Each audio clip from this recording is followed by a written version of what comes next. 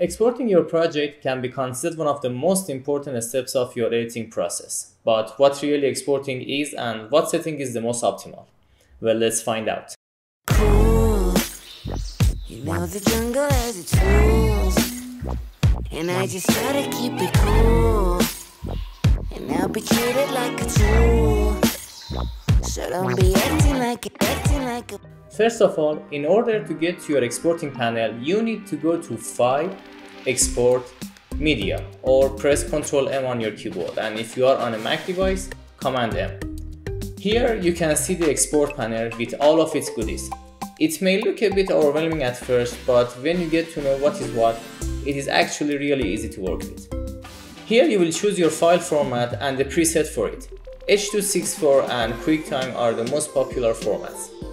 H.264 is supported on so many devices and platforms and also it's a good balance between file size and image quality. If your intention for your video is to distribute them on the internet, H.264 is going to be your best friend. QuickTime on the other hand is more popular for its less compressed files, but that means bigger file sizes. So it is more popular as an intermediate codec for passing around between editors when they want to move the files before final exporting. Inside preset section, you will have so many options to choose from. Of course, each format has its own presets. For example, in the case of H.264, you can see some familiar names like Vimeo and YouTube. If you are just about simply uploading to social media, then these presets can be really helpful. If you go the QuickTime route, you see some presets which are not that familiar. In fact, they may look a bit scary and technical. I personally always use Apple ProRes 422LT, but of course you can change everything down here if you fancy. For example, DNxHR DNxHD is Avid's answer to Apple ProRes, and they are both amazing. The biggest difference is that ProRes is geared more toward Apple users and DNxHD is more of a Windows thing. But all that said, if you want to have more control over your end product and get a better suited end result, you should try to customize everything to your liking. After all, you gotta take care of your videos. We will get to the customization stuff in a bit, but before that, let's talk about this little option here. This is the name of your output file and clicking on it will give you the option to not only change the name of the output file but also to set the destination for it. Oh and since we are here, do not forget to make sure both export video and export audio are checked. It may sound obvious, but I have forgotten it before and it was not a good experience. Anyway, let's check this very useful section here named summary. Here you can see some useful info about both the current file and what it is going to become. This panel can single-handedly save you a lot of time by giving you all the info you need about what you are actually doing to your source material. And I believe a complementary thing for that can be this part down here, which will tell you an estimation of the file size to be. Just keep in mind that this is just an estimation and not a precise number. Moving further down, you can see all these tabs.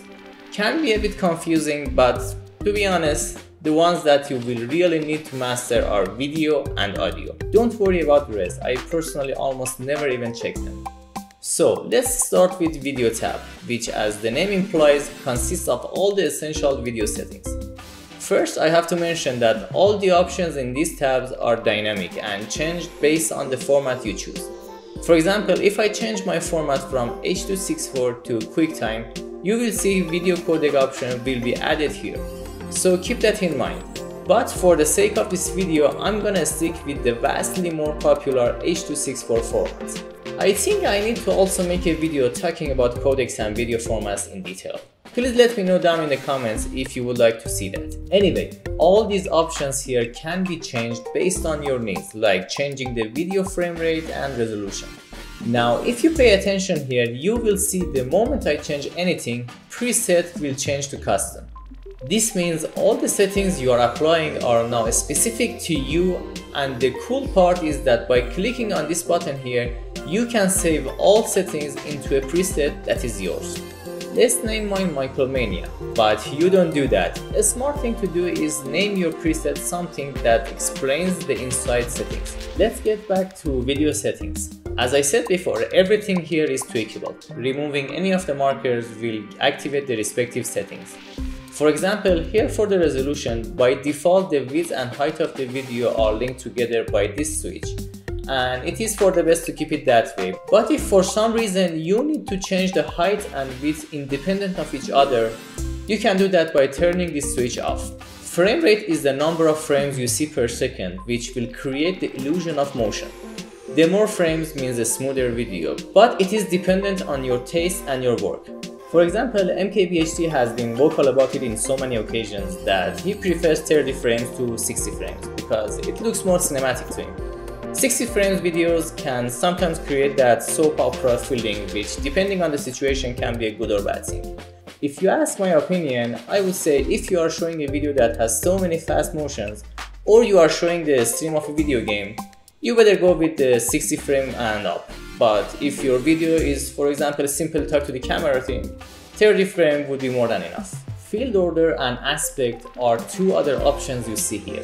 You better to keep these as they are, just know that almost always aspect should be a square pixels and field order should be progressive. Finally, check render at maximum depth to get the highest quality possible. This option will render your video at 32-bit color depth. It is extremely high but will come in handy when your video eventually goes through compression when being distributed. Also as a reminder I have to say that rendering at maximum quality and maximum depth can take longer to finish, around 3 times longer in my experience, so you have to keep that in mind. Now let's move on to the next section which is encoding. If you have a somewhat high-end rig with a relatively new Core series Intel CPU, you should definitely choose hardware encoding, otherwise software encoding is your best bet. Just as a disclaimer, I have to say that your mileage may vary when using hardware encoding. There are so many videos online either having an amazing experience with the hardware encoding or they have experienced next to nothing speed-wise. I personally experienced the benefit of hardware encoding, but I will make a dedicated video on this matter, getting in depth with the topic. Okay, now profile and levels. These two are settings that dictate the many aspects of codec and quality for H.264. I personally never change these because they change automatically when I set the other settings, so let's let them be. Rec 2020 is a color range with a wide color gamut and if your footage is in UHD then checking this option will give you a higher color range. High dynamic range, HDR for short, will give you a better picture by making a better balance between the dark and light areas of your footage. If your video is shot in HDR, be sure to use this option. Now we reach the bitrate setting sections. Simply speaking, bitrate defines the quality of your video by setting the available data for each second of the video. So the higher the bitrate is, the video will be in higher quality, but again it will also increase the size of your video. Finding a balance between the file size and file quality is something that is really dependent on the situation and your taste, but mostly your situation. If you have a client or if you are uploading on social media, you should keep that always in mind. Now, when you click this drop down, you will be presented with three options. CBR, which stands for constant bitrate. This option will keep every second of your video at a set bitrate. It will result in higher quality video, but the size will be massive. So if you are uploading to social media like YouTube, you should always keep that in mind. I personally always use VBR option which stands for variable bitrate. This option will constantly change the bitrate of the video on different scenes based on the needed quality. For example, a background of solid blue does not need a high bitrate to look good, but in a fast-paced scene, the bitrate should go up. This will give you a relatively high quality video at a much lower size. But as you can see, there are two VBR options one pass and two pass. The difference between the two is that the second one will double check the video for a better bitrate setting. But of course this means the video will be rendered two times and it will obviously take twice the time to finish. But I always prefer the two pass option since it will always give me a better result. Yeah it will take longer but that means more time for coffee. Now you can see these two sliders here. The first one, the target bitrate, will tell Premiere what bitrate bitrate is your goal for the whole video and while it is rendering, it will set the settings accordingly. The second slider will tell system what is the cap for bitrate so Premiere will know the bitrate should not exceed this set number. Try to experiment with this to reach a number that you feel is right for you.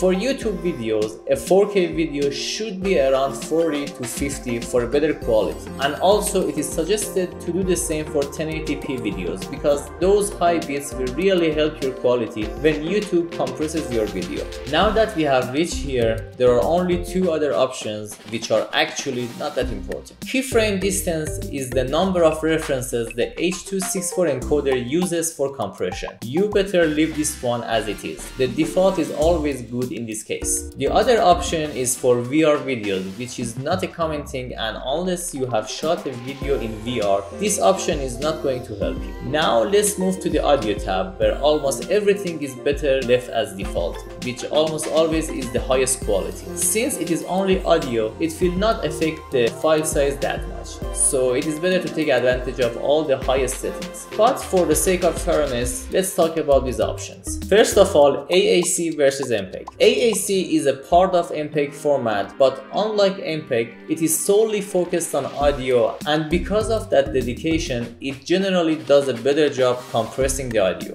When coming to basic audio setting, the first option is audio codec. Dropping down the dropdown, you will see these options and think version 1 and 2 are better than simple AAC, but you are wrong. AAC version 1 and 2, more commonly known as HEAAC, HE stands for high efficiency, are tailored for low bitrate audio. So if you are here for a high quality audio, keep it at AAC. Sample rate is all about audio frequencies and sound waves. It is a bit technical, but the short answer is the more the merrier.